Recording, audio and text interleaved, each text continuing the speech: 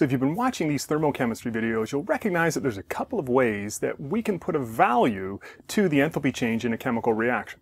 One of those ways is we can take empirical, that is experimental data using calorimetry, and we can figure out what the overall enthalpy change is for a given chemical reaction that we can perform in the lab.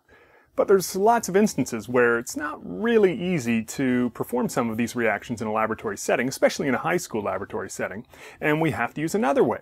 We can use something called Hess's Law. If you've watched the previous video and realized that we can take already established thermochemical equations, rearrange those equations and their enthalpies, and figure out the overall enthalpy change for a target equation.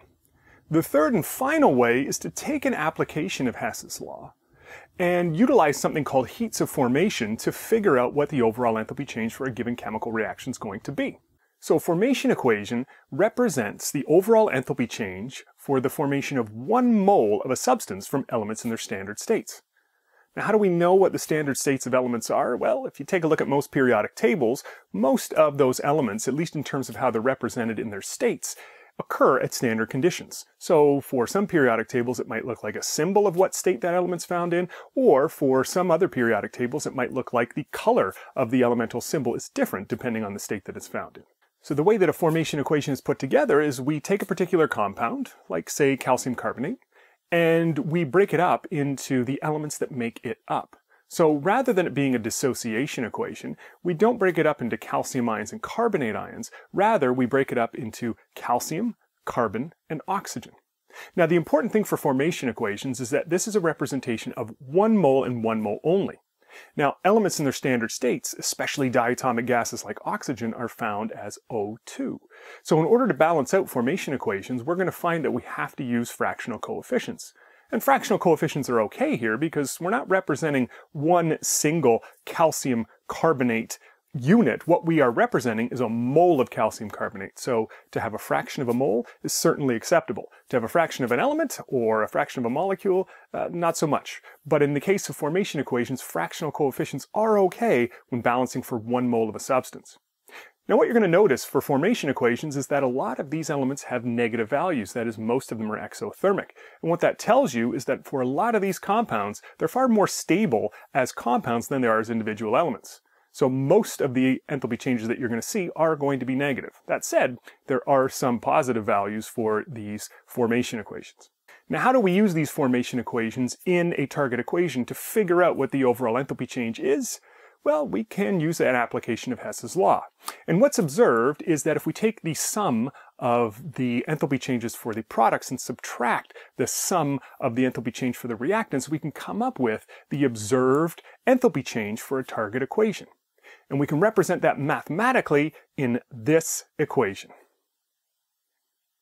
So yeah, you are going to have to know an equation to use these formation equations in order to establish the overall enthalpy change for a target reaction.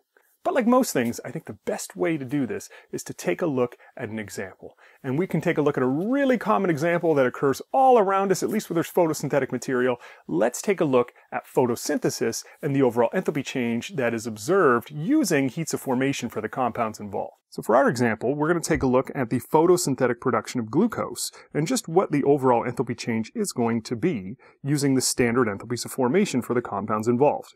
So you'll notice on the reactant side, we have 6 moles of carbon dioxide reacting with 6 moles of liquid water. And it is important to note the states, because the states of these particular compounds lead to different enthalpies of formation.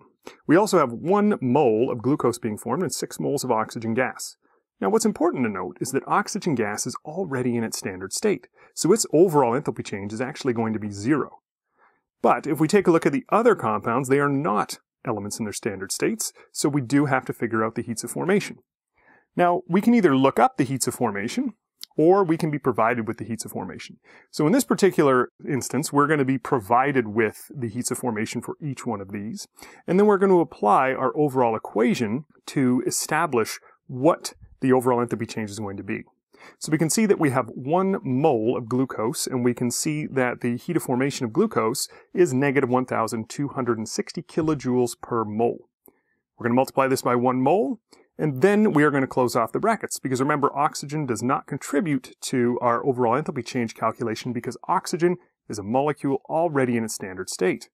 We are then going to subtract 6 moles times the enthalpy change of the carbon dioxide or the heat of formation of carbon dioxide, which is negative 393.5 kilojoules for water. It's going to be 6 moles times 285.8 kilojoules because again, these are kilojoule per mole values and we have 6 moles respectively of each carbon dioxide and water.